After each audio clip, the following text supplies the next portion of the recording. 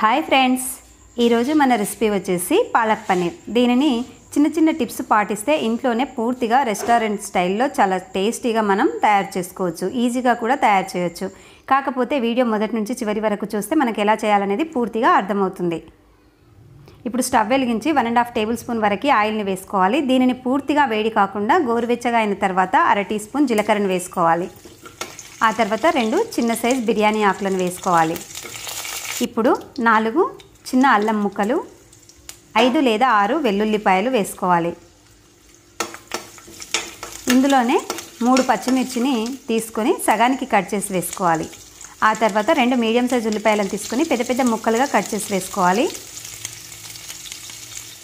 ఇప్పుడు పావు tea spoon ఉప్పుని వేసి ఉల్లిపాయ ముక్కలు అనేది మరీ ఎర్రగా బ్రౌన్ కలర్ రావాల్సిన అవసరం లేదండి. కేవలం కొద్దిగా మెత్తబడినట్టుగా తయారవుతే సరిపోతాయి. చూడండి ఈ విధంగా కొన్ని సెకండ్ల పాటు అర నిమిషం పాటు వేయించుకుంటే సరిపోతుంది. ఆ తర్వాత ఇందులో మూడు మీడియం సైజ్ టమాటోలను తీసుకొని పెద్ద పెద్ద ముక్కలుగా కట్ చేసి వేసుకోవాలి.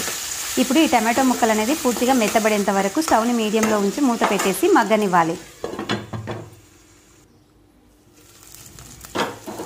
చూడండి టమాటో ముక్కలు మొత్తం కూడా మెత్తబడ్డాయి కదా. ఇప్పుడు స్టవ్ ఆఫ్ చేసేసేయాలి.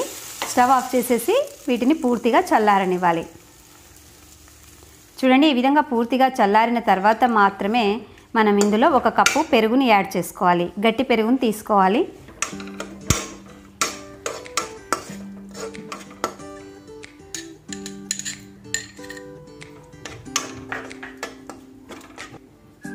ఆ తర్వాత ఇప్పుడు ఇందులో ఇందులో ఎక్కువగా మసాలాలు కూడా ఏం పట్టవండి. అర టీ స్పూన్ పసుపు వన్ టీ స్పూన్ ధనియాల పొడి పావు టీ స్పూన్ జీలకర్రను వేయించి పొడి చేసింది వేసుకోవాలి. ఆ తర్వాత ఇక్కడ పచ్చిమిర్చిని కూడా యాడ్ చేసాం కాబట్టి దానిని దృష్టిలో ఉంచుకొని వన్ టీ స్పూన్ కారం చిటికెడు నట్మెగ్ అంటే జాజికాయను ఈ విధంగా తురిమి ఒక చిటికెడు వేసుకోవాలి. ఇది మాత్రం అస్సలు స్కిప్ చేయొద్దండి. దీనివల్లనే మంచి ఫ్లేవర్ అనేది మనకు తెలుస్తుంది పాలక్ పన్నీర్కి. ఇందులో స్పైసీగా ఎక్కువగా తినాలి అనుకునేవారు పావు టీ స్పూన్ గరం మసాలాను వేసుకోవాలి. ఆ తర్వాత స్టవ్ ఆన్ చేసేసి దీనిని పూర్తిగా ఉడకనివ్వకుండా ఈ విధంగా ఉడకడం స్టార్ట్ అయిన వెంటనే మనం ఈ విధంగా కట్ చేసినటువంటి పాలకూరను మూడు కప్పుల వరకు వేసుకోవాలి. పాలకూరను కడిగి వేస్తాం కాబట్టి ఎక్స్ట్రాగా వాటర్ అనేది ఏమాత్రం వేయాల్సిన అవసరం లేదు. ఇప్పుడు స్టవ్ని మీడియంలో ఉంచి ఈ పాలకూరను ఉడికించే విధానం కూడా ఇంపార్టెంటేనండి మరి చాలాసేపు కాకుండా ఒక అర నిమిషం పాటు మాత్రమే దీనిని కలుపుతూ ఈ విధంగా ఉడికించుకోవాలి. మరి చాలాసేపటి వరకు ఉడికించుకుంటే మనకు పాలకూర అనేది పూర్తిగా నల్లబడిపోతుంది. అస్సలు మనకు కలర్ఫుల్గా అనిపించదు. కాబట్టి అర నిమిషం పాటు ఉడికించిన తర్వాత కొద్దిగా కొత్తిమీరని వేసి దించి ఇది ఉడుకు మీద ఉన్నప్పుడే ఇందులో వన్ టీ స్పూన్ చక్కెరను వేసుకోవాలి.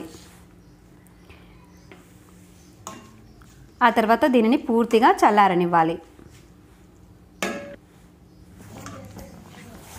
ఇప్పుడు పూర్తిగా చల్లారిన తర్వాత మిక్సీ గిన్నెలోకి తీసుకొని ఇందులో మరి పేస్ట్ అనేది మరీ గట్టిగా తయారవుతుంది అనుకుంటే కొద్దిగా పాలను యాడ్ చేసుకోవచ్చు లేదా ఇదే విధంగా మెత్తని పేస్ట్లా తయారు చేసుకోవాలి. చూడండి ఈ విధంగా బరక బరకగా ఏమాత్రం లేకుండా మెత్తని పేస్ట్లా తయారు చేసుకోవాలి.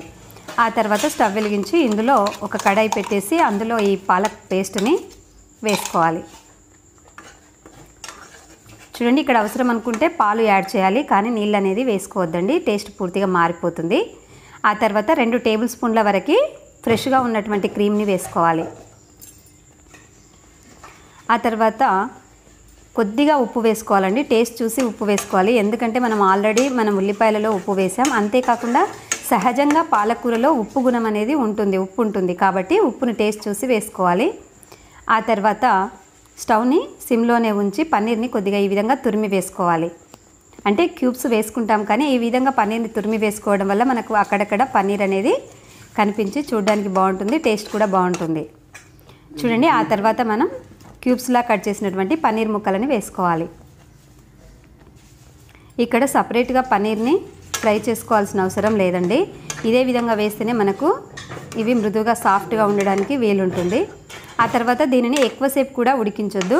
కేవలం ఒక అర నిమిషం లేదా నిమిషం లోపే మనం ఉడికించి స్టవ్ ఆఫ్ చేసేసి ఒక బౌల్లోకి తీసుకోవాలి. అంతేనండి. చాలా సింపుల్గా ఈజీనో ఈజీగా మనం ఇంట్లోనే దీనిని తయారు చేసుకోవచ్చు. ఇది బటర్ నాన్లోకి లేదా రోటీస్లోకి చాలా చాలా సూపర్గా ఉంటుంది. మీరు కూడా ట్రై చేయండి. తప్పకుండా నచ్చుతుంది. మరి ఈ వీడియో కనుక మీకు నచ్చినట్లయితే లైక్ చేయండి షేర్ చేయండి. కొత్తగా చూస్తున్నట్లయితే నా ఛానల్ని సబ్స్క్రైబ్ చేసుకోవడం అస్సలు మర్చిపోకండి. సబ్స్క్రైబ్ చేసి పక్కనే ఉన్న బెల్ సింబల్ని యాక్టివేట్ చేసుకుంటే నేను చేసిన ప్రతి వీడియో మీకు ఎప్పటికప్పుడు నోటిఫికేషన్ ద్వారా అందుతుంది.